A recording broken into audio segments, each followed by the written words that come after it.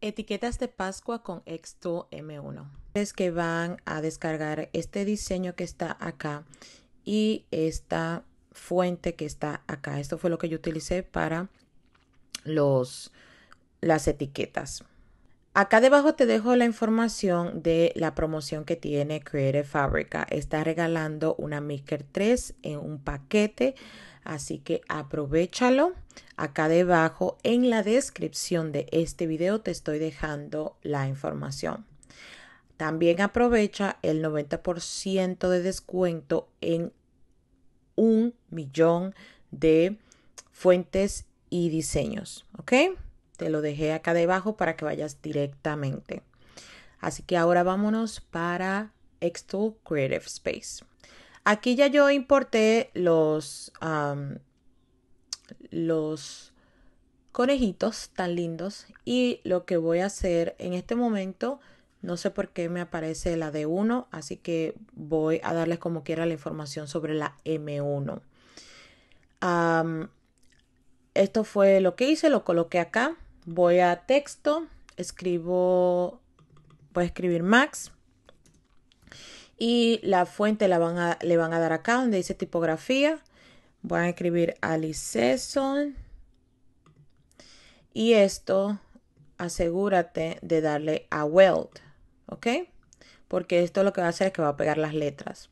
Tú le puedes colocar el nombre a donde tú quieras, pero asegúrate de duplicar el nombre. ¿Por qué? Porque vamos a necesitar un nombre para marcado y otro para corte. Entonces, este lo vamos a duplicar. Yo lo voy a duplicar así, copiar y pegar. Esto lo selecciono y lo coloco en cortar. ¿Cuáles son los parámetros? Bueno, yo utilicé 3.5 milímetros en Playwood. Este lo voy, a, lo voy a poner en cortar. Este se me olvidó ponerlo en marcar, no grabar, marcar, ¿ok? Aquí tienes que seleccionar obviamente eh, los parámetros, pero yo no sé por qué ahora me está saliendo la D1 si yo coloco la M1. y van a salir como los mismos parámetros de cada, de, para esto, ¿ok? Ah, no los mismos parámetros, pero el parámetro cuando tú eliges el material ya está ajustado para grabar, digo, para marcar, perdón, y para cortar. Así que no te tienes que preocupar. Solamente elige el que tú quieras, le colocas el nombre y, asegúrate de colocar el material. El material que yo utilizo está acá debajo en la descripción de este video. Tienes que darle al título para que te salga la descripción del video. Siempre haz eso en todos los videos que hago porque dejo toda la información ahí. Ya eso es todo. Vamos a darle a proceso para comenzar a trabajar. Aquí te muestro la pantalla, cómo quedó y estos son los parámetros. Pensé que elegí 3.5, pero fue 3 milímetros.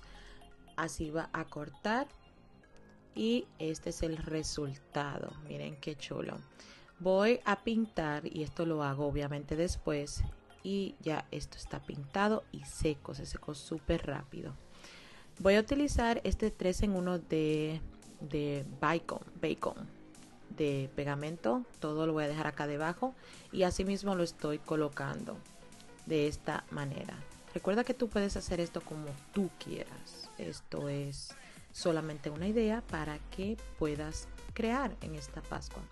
Estas bolitas fueron de Timo. Acá debajo te voy a dejar el 30% de descuento en Timo para que puedas agarrarlas. A mí me encantaron porque es difícil encontrar estas bolitas a buen precio. yo las agarré súper baratas y el hilo fue en Walmart, ¿ok? Yo te lo voy a dejar también acá debajo si lo encuentro y así es que lo hice, súper fácil y sencillo.